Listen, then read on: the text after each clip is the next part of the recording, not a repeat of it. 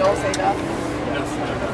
So we're with Chrissie Fit from the upcoming Disney Channel original movie Teen Beach movie. So what can you tell us about your character in the film? Well, um, I'm playing that biker girl Chee Chee. Um, Chee Chee is a little tough, uh, but she has like a heart of gold. I have, like, I'm the smallest one with the biggest hair and the biggest attitude, and I think Garrett's with it. this is the fun we had on set all the time. Um, but you know, Chee Chee is stylish, sassy, fun, and I just loved playing her. It's awesome.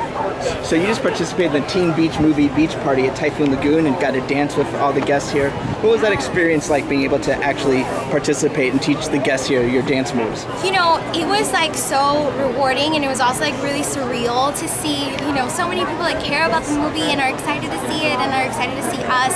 And we had so much fun at Typhoon Lagoon here at like Walt Disney World because it was just like so perfect for a Teen Beach movie.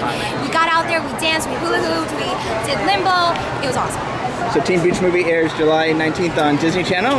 Yes. Looking forward to it and wish you best of luck. Awesome. Make sure you catch Teen Beach movie on Disney Channel July 19th. Bye from Chee Chee. Thank you so much. Thank you very much. Thank you guys. Bye. Thanks, Charles. Thanks, Charles. Thank you. 对对。